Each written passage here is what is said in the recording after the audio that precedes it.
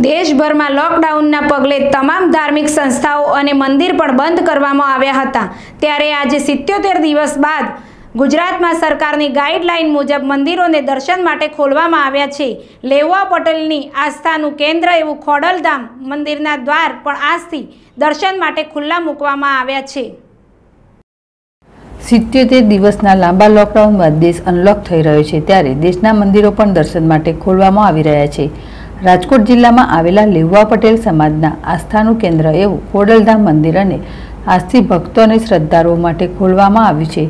મંદિરના દ્વારા દર્શન માટે ખુલતા સવારથી જ શ્રદ્ધાળુઓ દર્શન માટે આવી રહ્યા છે. આ તમામ શ્રદ્ધાળુઓને મંદિરમાં પ્રવેશ આપતા પહેલાં જ થર્મલ સ્કેનિંગ કરવામાં આવે છે. મંદિરના પ્રવેશ પહેલાં સોશિયલ ડિસ્ટન્સિંગ જળવાઈ રહે છે. તે માટે ખાસ માર્કિંગ કરવામાં આવેલ છે. સાથે સાથે સેનિટેશન કરીને શ્રદ્ધાળુઓને પ્રવેશ આપવામાં આવી રહ્યો છે. એક લાંબા સમય બાદ માતાજીના દર્શન કરવા મળતા શ્રદ્ધાળુઓ ભાવવિભોર થઈ ગયા હતા અને દર્શન કરીને ખુશખુશાલ થઈ ગયા હતા. ખોડલધામ મંદિર દ્વારા શ્રદ્ધાળુઓની સુરક્ષાને લઈને ખાસ વ્યવસ્થા કરવામાં આવી રહી છે. સરકારની ગાઈડલાઇનનું ચુસ્ત પાલન કરવામાં આવી રહ્યું છે. જે મુજબ મંદિર સવારે સાતથી સાંજના સાત સુધી ખુલ્લું રહેશે, જેમાં બપોરે એકથી ચાર બંધ રાખવામાં આવશે.